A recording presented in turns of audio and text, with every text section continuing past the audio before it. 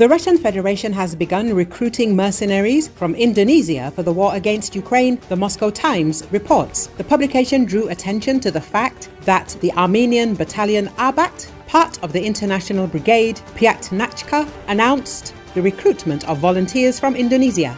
The mercenaries will be trained in the occupied territories of Ukraine. There are already a number of local residents who are ready to go to the Donetsk People's Republic, undergo training with our instructors, and fight with weapons in hand.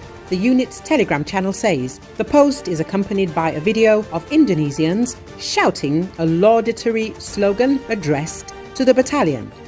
Arbat is a special forces unit created in September 2022, which is a mobile group of stormtroopers, RT wrote. It is commanded by former Wagner Aik Gasparyan, call sign Abrek.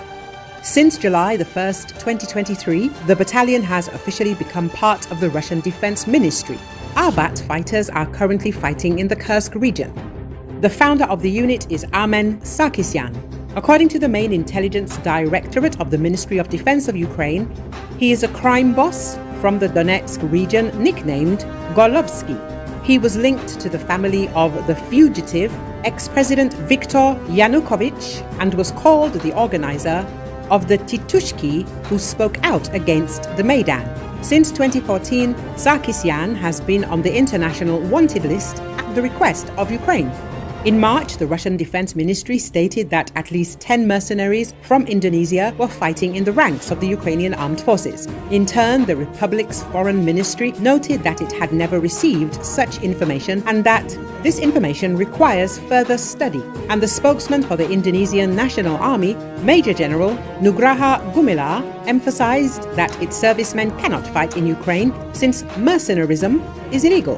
The army is called upon to protect the country's sovereignty, its territorial integrity, as well as the entire nation from bloodshed. Mercenarism does not fall under any of the three listed duties of our soldiers, Gumilar explained. It is known that Russia recruited Indian citizens for the war. They were lured by deception, promising high salaries and Russian passports for participation in auxiliary work, and instead was sent to the front upon arrival in Moscow. Only after Prime Minister Narendra Modi personally intervened in the situation, President Vladimir Putin promised to release all such mercenaries.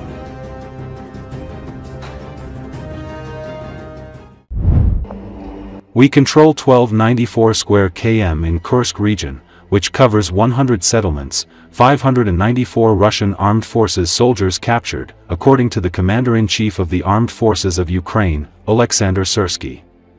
He said that about 30,000 occupiers were transferred to the Kursk direction. The enemy is withdrawing troops from other directions, but is increasing efforts in Pokrovsky. SYRSKY emphasized that one of the objectives of the Kursk operation was to distract Russian forces, including from the Pokrovsky and Kurakovsky directions.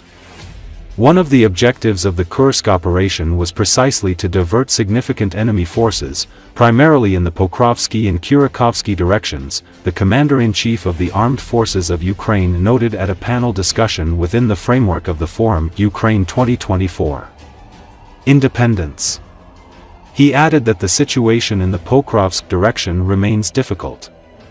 More than 50 combat clashes take place every day. The Russians actively use their advantage in manpower and military equipment, in particular artillery and aviation. Syrsky noted that the main offensive actions are being conducted by new infantry groups.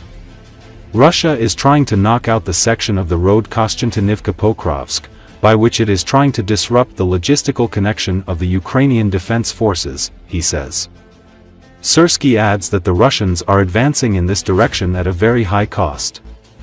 On average, Ukrainian soldiers neutralize 300 invaders every day in this direction, work is actively underway on the daily equipment of our positions and defense lines, the commander-in-chief notes. He adds that despite the difficult situation, Pokrovsk remains under the control of the Ukrainian military.